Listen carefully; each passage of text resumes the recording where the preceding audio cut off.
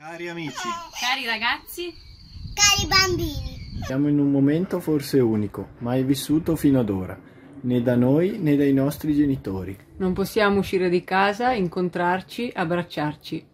Alcuni di noi avranno incontrato il virus da vicino. Tutti siamo stati messi di fronte alla gravità del momento. A tutti sono state chieste grandi rinunce. Nell'ultimo mese da parte dei nostri amici missionari mh, stanno arrivando sempre più frequenti lettere che raccontano la drammaticità che questa situazione di quarantena porta con sé in paesi poveri. Per noi in Italia quarantena significa Paura del virus. non andare a scuola, rimanere a casa, Smart working. rinunciare a vedere parenti e amici, Guadagnare meno, preoccuparsi di un futuro che appare più incerto.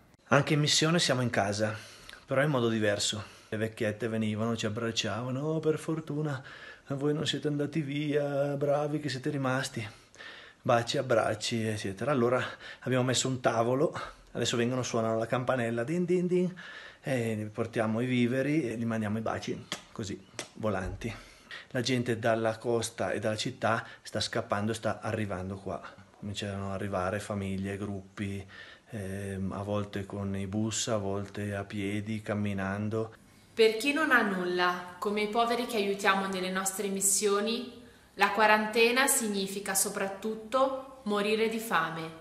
come ci scrive chiaramente padre Armando nella sua lettera.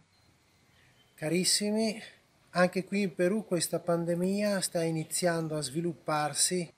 Il sistema sanitario quasi inesistente è già collassato ancora prima dello sviluppo dei casi.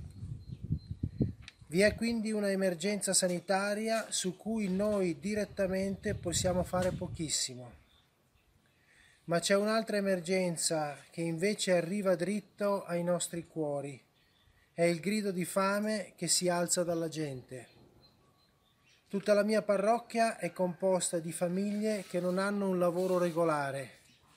La maggioranza vive di lavori saltuari, espedienti e tutti mangiano di quello che guadagnano nella giornata.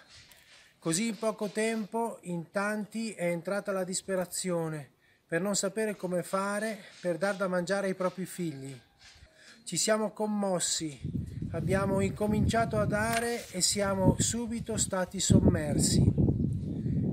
Ogni 15 giorni, con tutte le cautele del caso, distribuiamo quasi 300 pacchi di viveri per queste 1200 persone, per un totale di quasi 8000 kg. In più continuiamo a dare qualcosina a chi bussa alla porta di casa, ma quello che facciamo è niente rispetto al bisogno reale che c'è. Padre Armando. di fronte a questa e ad altre lettere ci siamo sentiti chiamati in causa. malgrado le difficoltà di ognuno, Noi dell'OMG Valtellinese vorremmo dare un aiuto, anche piccolo, riempiendo e inviando un container di viveri circa 150 quintali, entro i primi di giugno. Proponiamo ad ognuno di raccogliere in famiglia 20 più chili di viveri. Raccogliamo solo pasta, Riso, zucchero, farina, scatolame, Olio in latta, tutto con scadenza almeno 2021. Potete anche chiedere di fare lo stesso ad amici o parenti che pensate possano aderire. Ogni gruppo si organizzerà poi su come raccogliere il tutto. Siamo coscienti del periodo difficile che stiamo vivendo tutti e del bisogno che c'è anche in Italia. Però non possiamo restare seduti. Noi abbiamo bisogno di voi. Vero Pascu?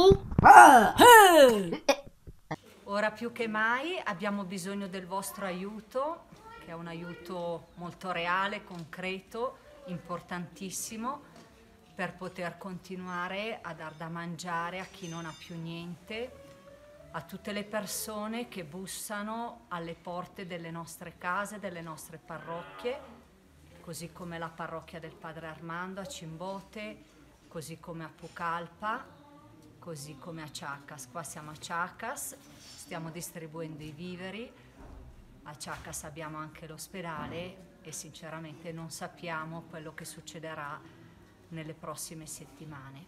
Abbiamo bisogno di voi, davvero del vostro aiuto. Grazie a tutti e ciao, state bene.